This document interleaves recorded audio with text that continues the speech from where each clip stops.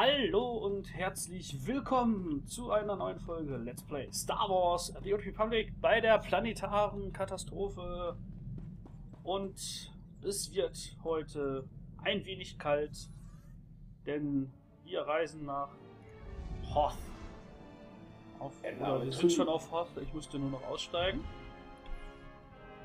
Aber ja, Ein- und aussteigen, ein- und aussteigen, bis man kann, man nicht mehr kann.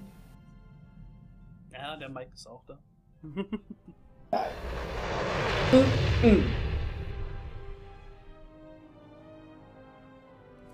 Ja, ja.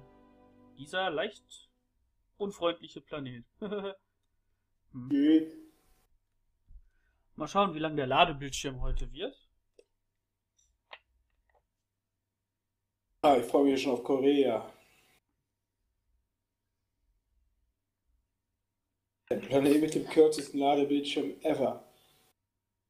Tja. Jetzt stellt euch mal vor, Markus hätte keine SSD. Oh oh. Hm. Auf Korea habe ich mir mal ein Brot gemacht, weil ich das ohne SSD damals gespielt hatte noch. Ich mir Brot machen oder so, irgendwas, äh, weil es so lange gedauert. Also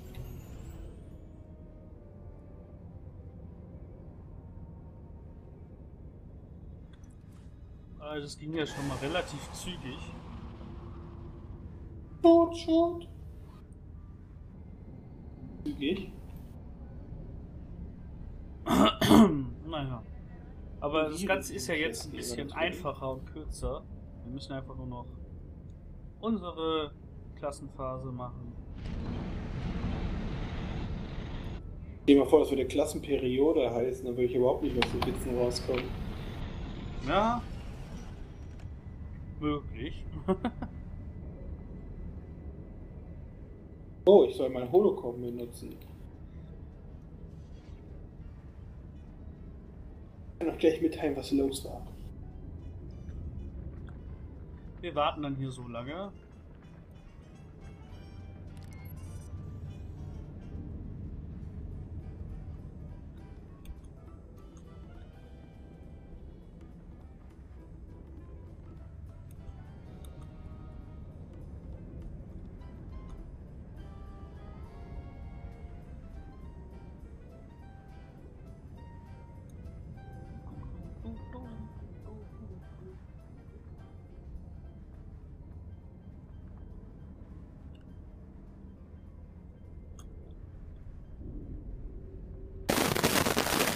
Ja, toll, jetzt fängst du an zu knistern.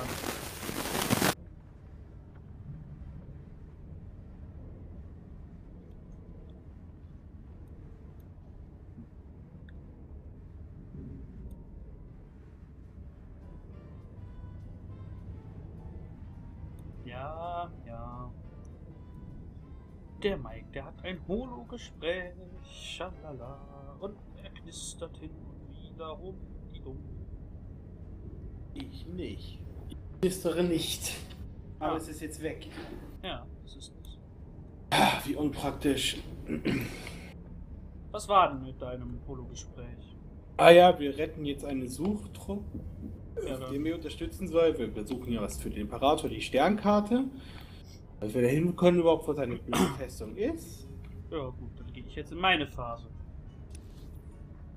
Und ich war noch gar nicht fertig. Das ist der Infanterietrupp der 301. So. Aha. Gut. Dann schaue ich mal, was man hier von mir möchte. Was möchte, was Sergeant June von mir möchte. Ah. Den. Ah, die Stimme ist ja auch gar nicht nervtötend. Das ist erstaunlich.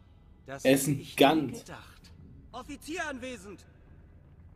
Wart so vom Insektoiden, wie er redet.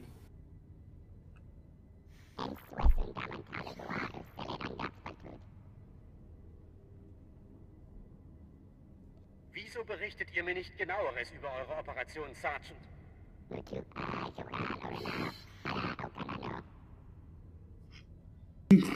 Ich hab da voll die Clipping-Fehler gerade. Markus seine Rock hat voll den Clipping-Fehler.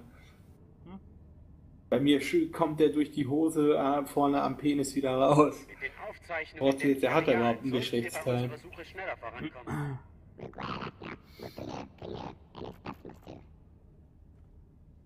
Aber nichts geht über den Vibrator.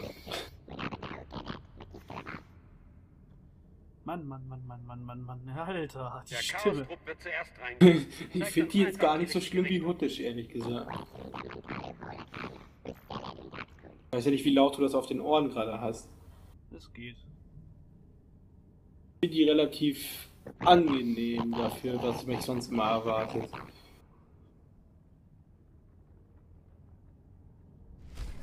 Ich um. Aber worauf Markus gar nicht klarkommt, sind Urknuts. Ja.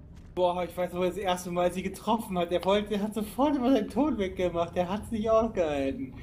Mhm. Wenn sie angefangen haben rumzugrunzen. Oh ja. Oh, ich ja. fand das so lustig, ne? Als ich das erste Mal getroffen habe, ich habe voll gelacht. Ja, sorry. Ich habe keine Lust, mir den ganzen Tag anzuhören, so ein Schwein irgendwie gefühlt abgestochen Das war ja den ganzen Tag, das war ein Questgeber. Egal, war schlimm genug. Außerdem habe ich die relativ schnell kennengelernt als imperialer Kopfgeldjäger. äh. Hat man ja häufiger mit denen zu tun. Ah, Auf Futter hat man mit einem auf jeden Fall zu tun.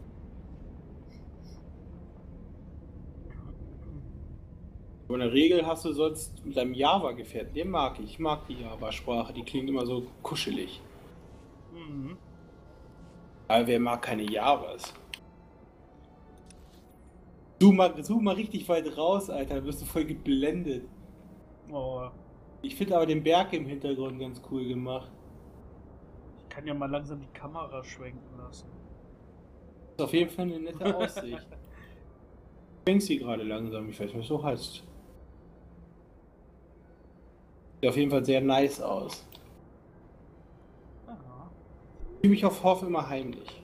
Wenn es eigentlich Hot ausgesprochen wird, im Film zumindest. Ist ja scheißegal, wenn es ausspricht, jeder weiß ja, was gemeint ist. Ja. Muss ja nicht immer Korinthen kacken, außer bei Lichtschwert und Laserschwert. Da bin ich definitiv sehr zickig, wenn da jemand das Laserschwert nennt. Ihr wisst gar nicht, was ich bei Kotor 1 für Wutanfälle gekriegt habe, weil die es immer Laserschwert genannt haben. Wollt ihr übrigens, ich weiß nicht, der Fanfact, ob ich den schon mal angebracht hatte, aber ursprünglich sollte Lichtschwert, also Lightsaber, sollte ursprünglich ähm, ähm, leichter Säbel genannt werden im Deutschen. Ah, ja. Leichter Säbel, ohne Quatsch, wer auch immer für diese Übersetzung verantwortlich war, der wurde bestimmt hochgradig gefeuert. Eigentlich müsste es Lichtsäbel heißen im Deutschen, aber Lichtschwert passt besser in meinen Augen, weil es ja eigentlich kein Säbel ist. Man hat einen Säbel in der Hand. Müsste ja lang gebogen sein. Ist er nicht, also bleiben wir bei Lichtschwert. Aber wenn es jemand Laserschwert nennt, dann bin ich sauer. Sauer. Ich erkläre ihn erst auf, wenn er darauf beharrt, ich stinkig, weil es nämlich nicht ist. In dem Film wird er übrigens nur zwei oder dreimal Laserschwert gesagt und das nur wegen Übersetzungsfehlern. Sonst wird es die ganze Zeit Lichtschwert genannt, auch in den Comics und was auch immer. Und fast jedem anderen Spiel. Bis auf KOTOR 1. Eine Stelle in KOTOR 2, aber das war, war halt wieder gesagt mal Lokalisierungsfehler. Tja. Bei KOTOR 2 kann ich euch leider nicht aufnehmen, weil das Spiel stürzt so oder so ein, ohne Emulator fast schon. Ich bräuchte fast Windows XP Emulator dafür, glaube ich. Das ist auch total krass. Schade eigentlich, aber was will man machen? Aber ich habe es natürlich noch mal letztens irgendwann mal durchgespielt gehabt vor ein paar Monaten. Weil ich Bock hatte. Es ist ein gutes, geniales Spiel.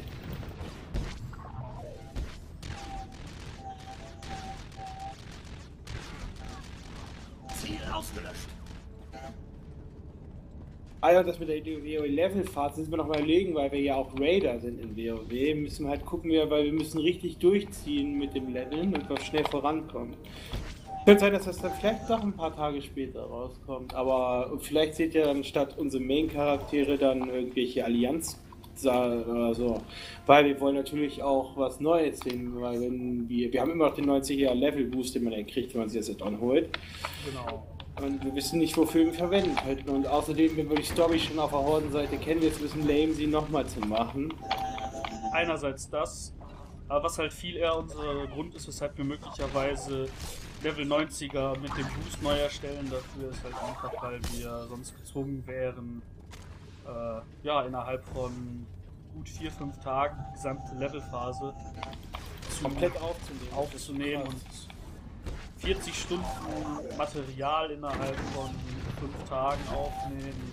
Das habe ich noch nirgendwo gesehen und wir sind dann auch nicht fähig, das zu machen, weil irgendwann ist die Platte voll. Genau, und außerdem ist auch irgendwann die Luft raus. Man weiß dann erstmal nicht, worüber man reden soll, weil nichts passiert ist. Genau, jetzt haben wir irgendwelche neuen Themen anschneiden, aber wenn man nicht mehr weiß auf einmal, Anscheinend komme ich gerade wollen wir rechtzeitig. unsere Stimmen sterben. Keine Sorge, Jedi. Ich hätte diese Stellung noch ewig halten können. Sergeant Oh, Fidel was? Tin Rask, 301. Infanterie. Mein Trupp steht das euch nur. zu Diensten. Es gibt keinen Trupp mehr. Außer uns ist keiner mehr übrig. Wir sind so lange ein Trupp, bis ich etwas anderes sage, Private. Und jetzt steht auf. Keine Zeit zum Ausruhen. Hier sind überall imperiale Truppen. Immer langsam. Dieser Soldat braucht medizinische Hilfe. Nachladen, Private. Die Mission ist noch nicht abgeschlossen. Es war unser Ziel, die imperialen Vermessungskarten des Raumschiff-Friedhofs zu sichern. Ziel erreicht. Dabei sind uns imperiale Angreifer gefolgt. Eigene Verluste 66,4 Prozent. Gegnerische Verluste 100 Prozent. Ja gut, das ist besser. Moment. Ich erfasse draußen eine neue Welle von Suchtdroiden. Sie kommen hierher. Oh mein Gott! Diese Druiden werden es noch bereuen, dass sie hergekommen sind. Ihr habt sie gehört. Sichert die Tür. Da kommen sie. Das war böse, weil ich nicht einfach mal nicht in Deckung schicke und der selber von ihm soll mitkämpfen.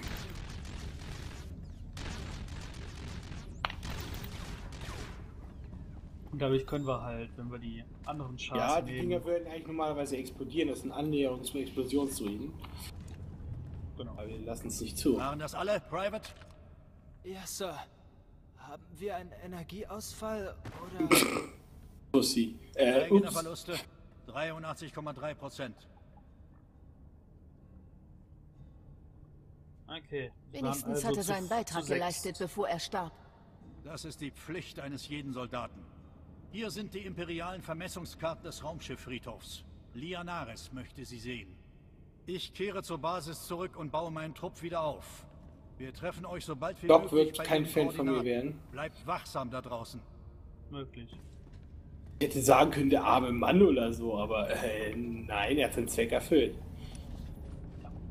Hier ist General Callan Grain vom Republikanischen Oberkommando. Ich bin gerade im Orbit über Hoth angekommen. Da unten herrscht ein ziemliches Chaos. Wie es heißt, habt ihr einige Männer von der 301. Infanterie für eure geheime Mission abkommandiert. Die imperiale Offensive hat uns in schlechter Verfassung zurückgelassen. Wir haben euch einen Gefallen getan, jetzt benötigen wir einen. Die Jedi sind stets gewillt und bereit, euch zu unterstützen. Scout-Teams haben mehrere imperiale Waffenplattformen entdeckt, die in den Eisfeldern in der Nähe unserer Basis errichtet werden. Wenn der Feind so nahe Artillerie aufstellt, kann er unsere Fähren abschießen. Ihr müsst diese Waffenplattform zerstören. Sofort. Ich mache mich sofort auf den Weg. Wo muss ich hin? Ihr erhaltet soeben die Koordinaten der imperialen Waffenplattformen. Viel Glück. General Crane, Ende. Ach, übrigens, weißt du eigentlich, in welchem Rang ich stehe, Markus, in der, in der republikanischen Armee? General. So ungefähr. Mhm. Naja. Im Prinzip habe ich ähm, über die Truppen das Kommando, aber nicht über die Generäle der Armee. So ist das der Schuh, weiß.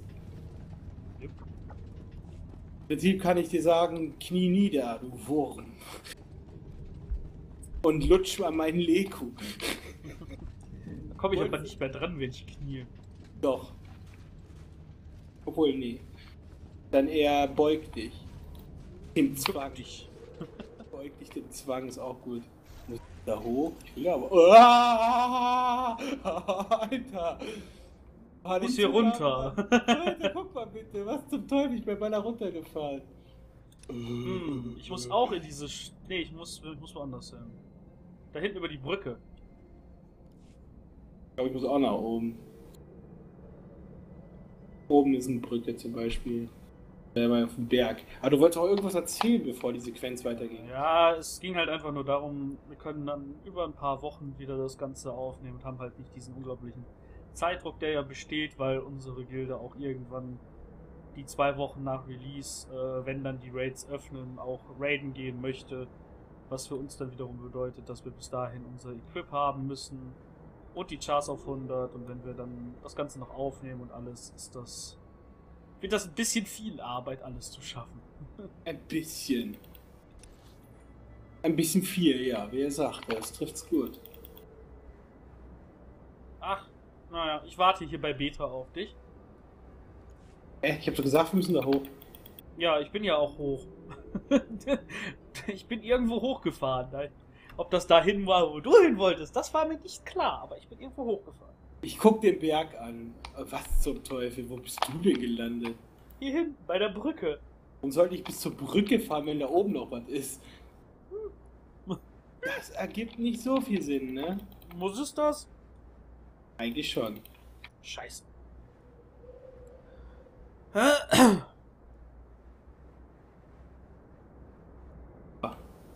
Reale Deppen besiegt. Noch mehr. Ich wollte mich davon abhalten, irgendwas zu, zu machen hier. Aber wie das halt so ist mit imperialen Soldaten, das läuft meistens nicht. Tja. Imperialer kann man das natürlich genauso über die republikanischen Soldaten sagen. Hoff, Schlag gegen das Imperium. Mhm. Töten sie Imper insgesamt 100 imperiale Kampfsoldaten auf Hoth. Auf Rot. Jetzt jetzt Hoff, weil die es auch mal so nennen. Ich habe mir das angewöhnt, weil ich zu viel als Vitor gespielt habe. Hut, Hut. Hut, Hut. Ja, ehrlich gesagt finde ich Hoff noch ein bisschen besser, hört sich besser an. Mhm. Aber das kann ja jeder für sich selber entscheiden. Außer bei Lichtschwert, da lasse ich keine Diskussion zu. Weil mit Laser hat das nicht so viel zu tun. Hier jeder weiß, der einen Jedi gelevelt hat. So, wo bist du? Versuch mal über die Brücke hier zu fahren, vielleicht bin ich dann schneller bei dir.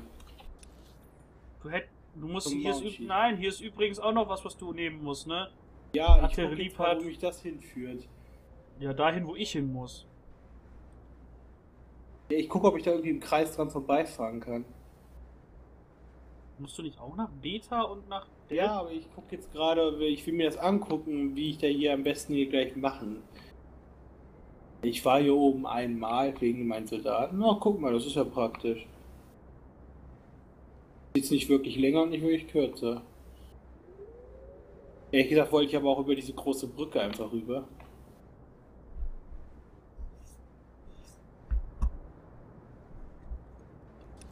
Ja. Er hat äh, beschossen, ich wollte schon wieder beschissen. Übrigens hat Aspodan immer eindeutig die beste Fähigkeit in Heroes of the Storm für mich, der Penisstrahl. Oh, wo bist du? Ach, da bist du. Jetzt kann man die Aussicht genießen. Aussicht genießen. Los, genießt sie. Genau, unglaubliche Aussicht. Alles weiß in weiß. Wie der Frostfeuergrad. Naja, toll. Erinnere mich bitte nicht daran. Aber deswegen freue ich mich auch auf Mali zu leveln, weil das regt mich richtig auf, was die Horde wieder mal für eine Garnison. Ich darf ja nicht mehr entscheiden, wie sie aussieht. Muss sie ja diesen blöden Stahlton haben. Hat mit barbarisch nicht mehr viel zu tun, finde ich. Oder du? Naja. Wird irgendwie so aufgesetzt, dieser Stahlton. Das haben wir aber sicherlich nur nicht so. Jeder für sich selber entscheiden. Ich mag es halt nicht.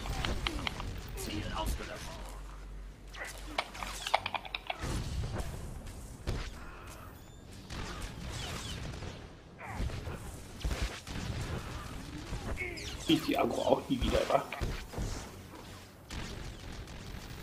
Ach, weil Markus auch wie so ein Blöder drauf schießt. Ja, warum auch nicht? Der Depp.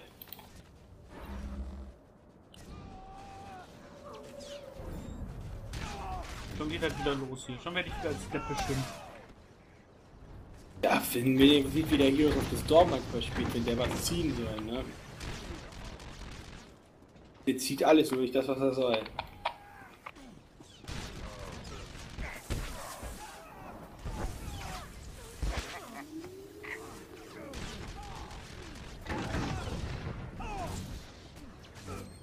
Aber wieso beschimpft, wenn es doch teilweise einfach manchmal die Wahrheit ist? Weil du bist manchmal echt so Brainlag-mäßig. Was ja Tja. nicht schön ist. Ha, mit meiner Hand zerstört. Ich wollte wieder aufmounten mit Y. Ja, ich, ich wollte das auch gerade. Das hatte ich letztens, glaube ich, einmal kurz in WoW. Da wollte ich mich per Rechtsklick fortbewegen.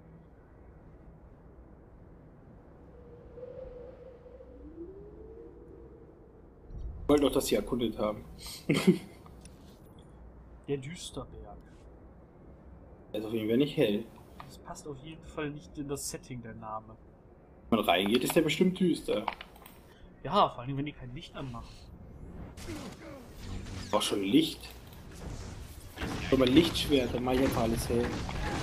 Kennst du die Big Bang Theory Folge? Die wird halt bestimmt schon mal gebracht. Ja.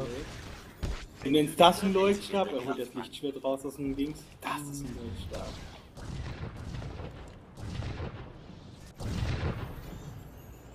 Eigentlich auf Y irgendwas aus der Waffen holen? Nein, ne? So, was ich dann einfach mache aus purer Angewohnheit jetzt. Tastaturbelegung. Ist mein Mount? Schnellleiste. Kommen. Jetzt rege ich das wieder mit Doc, diese Missverständnisse. Bereit. Jetzt habe ich mein Mount wirklich auf Y. Hm. ich glaube, das werde ich in WoW auch machen, weil Waffen ziehen und so ist für mich eine Funktion, die ich eigentlich nicht brauche. Kann ich lieber mein Mount hin. Manchmal macht er nämlich diesen Quatsch, du kennst den Bug. Wenn irgendwas kaputt macht, läuft er da rum wie der letzte Vollpfosten auf einem der Waffe. Verdammt, ich bin unten drunter. Ich bin festgestackt. Alter. Naja, kriegt er mich runtergeschossen? Sniper hat vom Mount geschossen. Aber dich. Ja, hallo, ich wollte dir helfen. ja, das ist nett. Ich helfe mir. Helf, ich helfe dir jetzt auch im Gegenzug dazu. Wenn die, dir war nämlich kurz davor, dich umzukriegen. Dachte so, nee, nee, nee.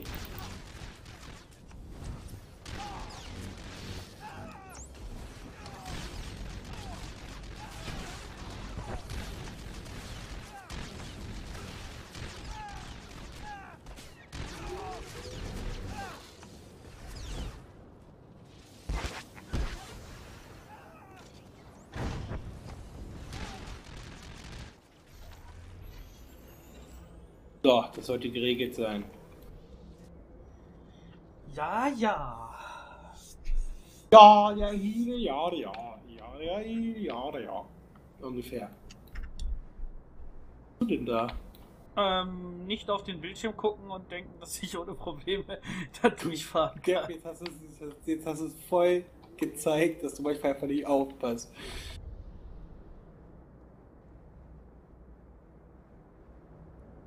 So spielt er übrigens auch PvP. Du Ja. sagst, du musst hier was machen, du Depp. Ich. Ja, ich weiß, fahr mal dran voll vorbei. Ich war. Bereit. Ja, ja. Markus, unser kleiner Depp. Kann ich auch Vollpfosten nennen, falls dir das lieber ist. Ja, die nicht unbedingt. Was Ah. Teufel war das denn gerade? Ah, ich musste niesen. Sorry. Ja, könntest du den spontan Tourette kriegst.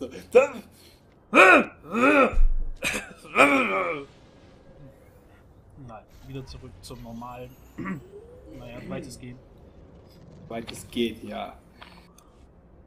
Oval würde ich uns nicht bezeichnen. Hä? Hä?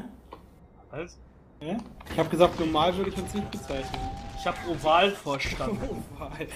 Ja, Oval. Oval würde ich uns nicht bezeichnen.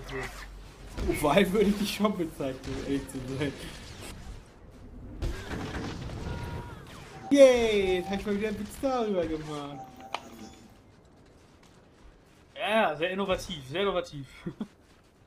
So. Tier fangen. Hey, der steht dahinter und wird davon nicht getroffen. Der cheatet.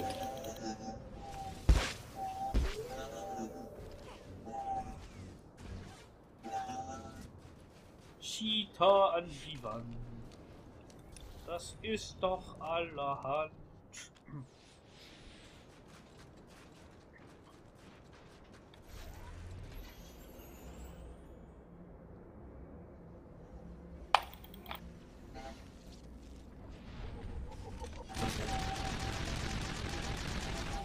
Überwältigende Kraft.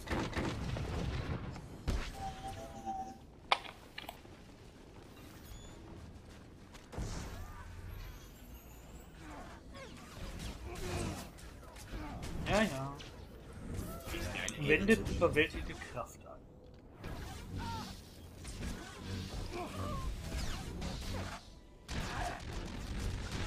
So geht es allen, die den galaktischen Frieden gefährden.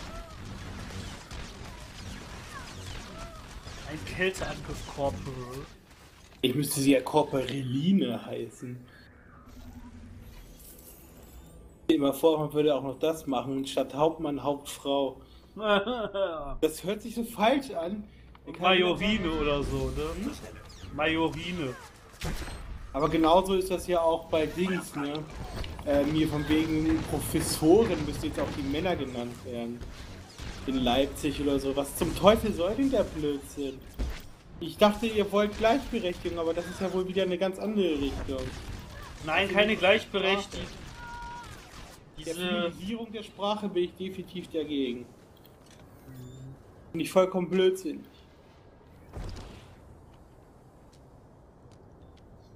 Und werde ich auch niemals machen, werde ich meinen Kindern auch niemals beibringen, dass sie sowas zu sagen haben. Was nicht Das- heißt, dass ich. Doch, ich bin schon ein bisschen gegen Feminismus, weil die viele Seiten immer in Extreme gehen und immer mehr Frauen sollen mehr Rechte als Männer haben. Ja. Aber. Gleichberechtigung ja, dann aber auch, da bin ich fast dafür, weil sie gleiche Rechte haben und müssen auch gleiche Pflichten haben. Ja, aber das ist ja dann wieder. Das kann man Frauen ja dann nicht zumuten, ne? Ja, aber uns Männern kann man das ja zumuten. Okay, nichtsdestotrotz machen wir hier einen Cut und was in meiner Phase passiert, erfahrt ihr dann in der nächsten Folge. In diesem Sinne, euch einen schönen Tag und reingehauen. Tschüss.